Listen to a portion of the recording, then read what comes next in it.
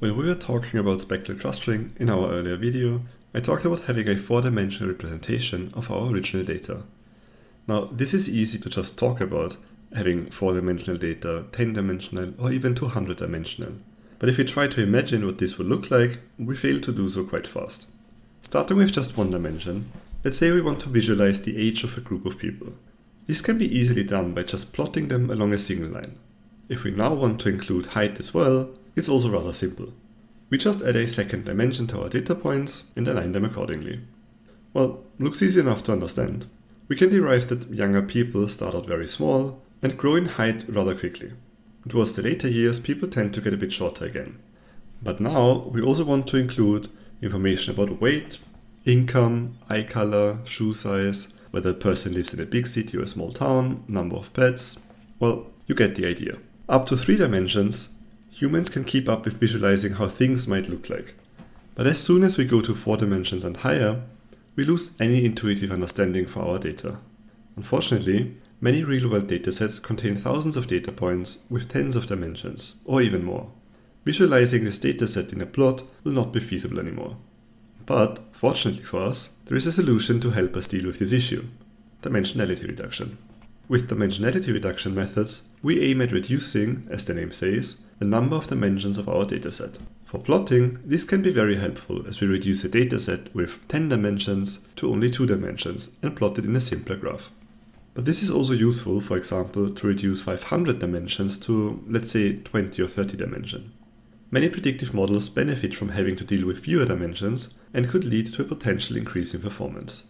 But wait, don't we lose a lot of information if we just discard 480 dimensions? Well, yes and no. In datasets with many dimensions, usually not all of them are important for the task we want to solve. So the crucial point is that we want to reduce the dimensionality as much as possible while retaining as much information as possible that is important for our task. And one of the many methods that can achieve this result is called Principal Component Analysis, or short PCA. To demonstrate what PCA does, Let's consider a simple two-dimensional example that we want to reduce to a single dimension. A simple approach could be to project all data points onto one of the axes, as shown here. This is equal to just discarding our y dimension. But this might not be the best case as the information that we just discarded might be crucial to distinguish points sufficiently. So, with PCA, we want to keep as much information as possible. Conceptually, this could be done by introducing a new axis, this axis will be aligned in a way that the variance of our data is maximized, which essentially minimizes our squared error. This new axis is called a principal component of our data. In this specific example, this axis is the first principal component. This component is neither the x nor y axis, but rather a linear combination of the two, which gathers information from both of them.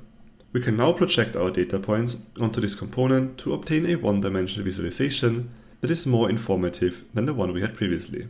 And now we can also easily distinguish each data point on this line. In more complex datasets with higher dimensionality, we usually want to find more than one principal component. So we essentially look for more than one axis where most of the data variance lies. Quite often we want to use the first two principal components to visualize our complex data in a simple plot that shows most of the information carried in a dataset. In practice, if we have our first component and want to add a second one, we will choose one with orthogonal direction to the first component. The idea here is that once we have found the direction where most of the variance happens, our first principal component, any information that remains to be accounted for will lie on directions that are not considered at all by our first component. And these directions are orthogonal to our first component. With each additional principal component, we will see that it is orthogonal to all the previous components. We can also analyze our principal components by looking at how much information is carried by the first, let's say five principal components. Intuitively, the more principal components we will consider, the more information we will keep.